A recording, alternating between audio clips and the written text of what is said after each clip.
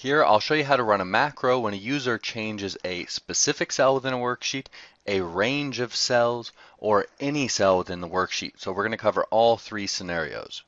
Before we start, check the video description and click the link to Teach Excel so you can download the files for the tutorial and follow along. And make sure to subscribe and accept notifications so you can see all the new tutorials. All right, so first things first, let's cover when a user changes anything within the worksheet, and then we're going to narrow it down to a specific cell by the end. So we go to the VBA window by doing Alt F11, and what we're going to do here is instead of going to the normal insert module, which is what we do for almost every macro. What you want to do here is to double click the worksheet where you want this macro to run, where you want something to happen when a user changes a cell. You're going to see a window open up like this. And in the left-hand menu, if this is not doesn't look like this by the way, it might not be full screen. It might just look like this, but it's the same window. I just made it full screen. So then we go to the left section here where it's going to say General by default. Click the drop-down arrow click Worksheet. And by default, it's going to be Worksheet Selection Change, which means that whatever is in here will run every time you select something in the workbook. That's not what we want. Don't worry about it. Go to the right hand drop down over here. And these are all the options we have. And every one of these options, it's an event. It means that when something in Excel happens, we're going to run a macro. And this allows you to determine what event would run the macro. So before we delete, before we double click, right click, calculate, change, and so on. And what we want here is change. So click that, and then we have this little section, worksheet, worksheet change. Let's go ahead and delete the selection change. We don't need that. I'm going to go ahead and remove the extra space. And now in here, anytime we change something in the worksheet, a macro will run. So let's just do a little message box. Hi there. And let's test it out. Hit Alt F11 to go back to the worksheet. Now I can select it, nothing happens. Double click, hit escape, nothing happens. Double click, enter, something happens. It essentially thinks it changed, even though to us nothing changed. So notice that even if we don't input anything, it's going to do this. And we have our macro that ran, little message box, hi there. So when we type something in, it runs the macro. But we can still select everything and do all of that. Now let's see what happens when we select the cell and hit the delete button. Well, the worksheet has changed. So you don't just have to activate the cell for that to happen. Now, as it currently stands, it doesn't matter what cell we do something with, it is going to run the macro. So let's go ahead and make it run on a specific cell. I'm going to highlight the cell here just so it is easier for you to find when you download the workbook. So we'll work with cell A1. So Alt F11, double click the worksheet that you're working with, and now it is time to limit when this is going to run. What we have here, which helps us out tremendously, it's so cool, is this up here. What this does is in the target variable, it creates a variable, a target variable that stores what was changed. So we can now figure out what cell was changed. So if I do something like this, target dot address, pretty cool. Let's go back to the worksheet. Let's type in here or double click in here and hit enter. A1. So we get the location of the cell that was changed. Go back to the VBA window, Alt F11. And now you can start to see how we're going to limit this so it only works on certain cells. Now what I'm going to do, examples, is to leave that in there and comment it out so that you can play around with it. Leave another one in here, just the hi there one. So uncomment that, remove that little single quote if you want to run that one. And now let us begin to limit it using the target variable. If target dot address equals. Now let's figure out the range. We want to do it with A1 range A1 dot address. Then, now let's go down here, end if. So now we have, I'm going to select this and hit the tab key to push it in. We have surrounded the code we'd like to run with an if statement. This if statement uses target.address, the same thing we just output, and it checks to see if it's equal to, well, the address of cell A1. And we can put whatever cell we want in here, A1, B2, C3, whatever you want. Now let's go back to the worksheet. Check it out. I go down here, nothing. Down here, nothing. Up here, and it runs. How cool is that? It's that simple. So now we have a macro that will run only when we do something with cell A1. Let's go ahead and add a comment.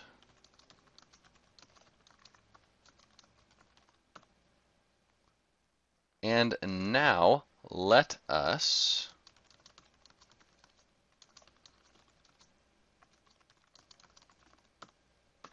let us create a section of code that's going to run when we change any one of a number of cells. So let's go over here and let's say A3 to A5 put that as yellow.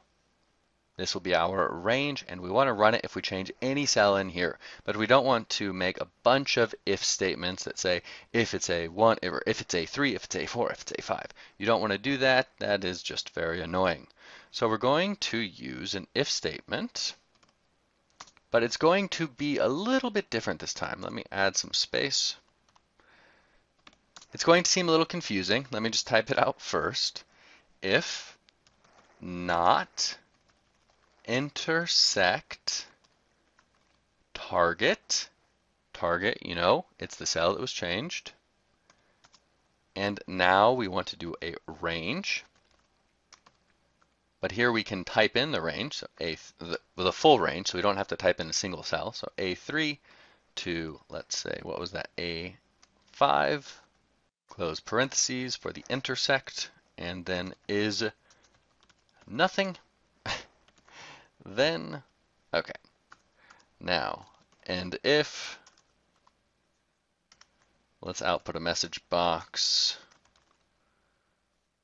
changed my range.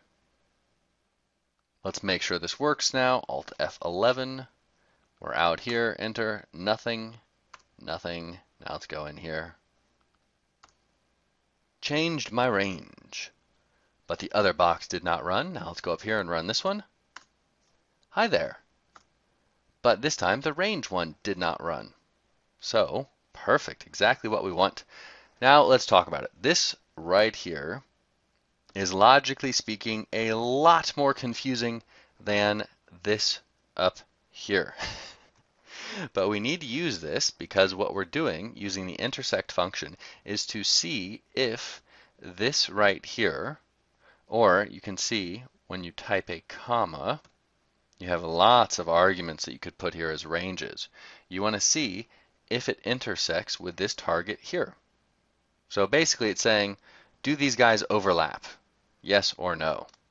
And the way to check for this within an if statement to check if it did overlap, we can't just reference this directly, is we have to do this kind of double negative thing.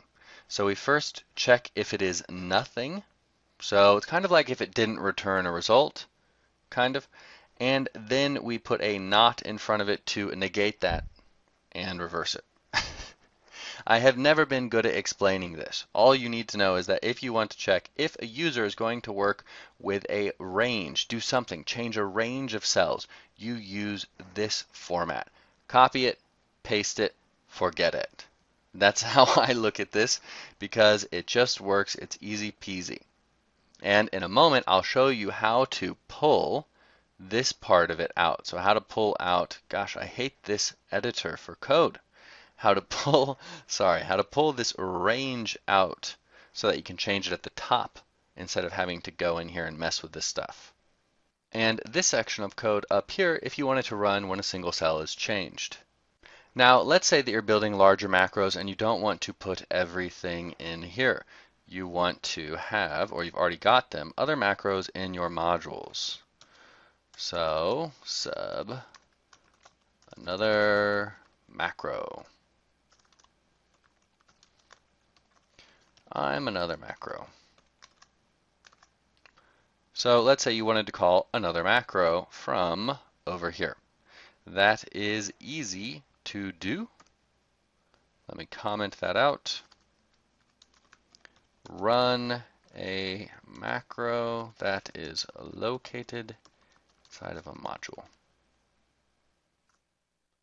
All we have to do, well there's two ways to do it, but I like to do it this way. Type the word call and then another macro. So the name of the macro, let's test it out.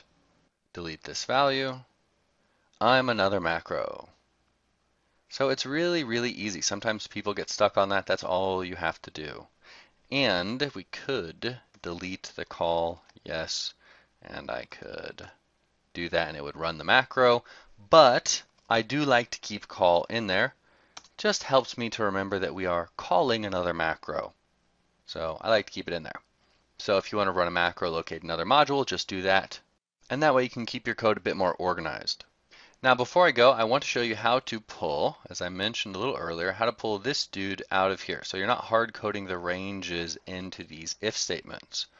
So what we can do up here, we'll do two things. First, we shall declare some variables.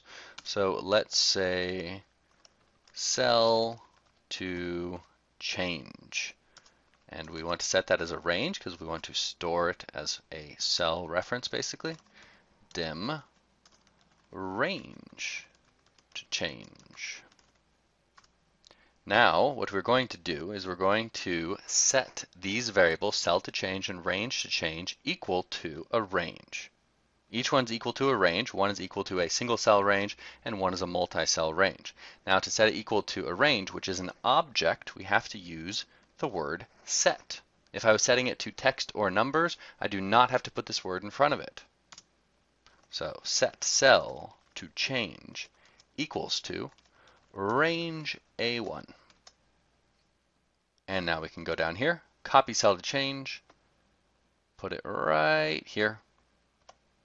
We still need the dot address at the end of it, and you will notice if we were typing it out, so let me delete this, cell to change. The second I hit the dot, you're going to have a bunch of options. Start typing address and it fills it in for you once you hit the tab key like that. We do the same thing for the next one. Set range to change equal to range A3 to A5.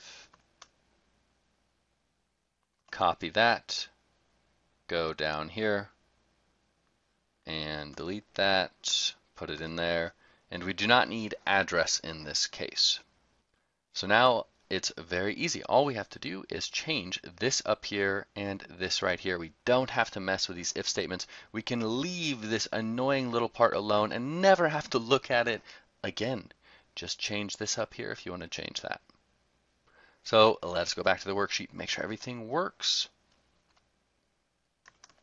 Text. I'm another macro, more, changed my ranged stuff here. And if I do this, nothing. Okay, it automatically filled in the yellow. Very annoying. Undo. But it doesn't run when I change any cells, any other cells. So Alt F11 to go back here. That's all there is. These are the two ways to make it so that a macro is going to run if a user changes something in a cell or changes something in a range, or also, I guess the third way, if they change anything within the worksheet in the cells. This is how you can call other macros so you don't have to have all your code in here. And this is also how you can make the macro a bit more robust and a bit better for the long term so it's easier to manage by breaking out the range references up here into separate variables. That's all for this tutorial. I hope you found it helpful. I hope you liked the tutorial. If it was helpful, don't forget to give it a thumbs up and make sure to subscribe and accept notifications so you can see all the new tutorials.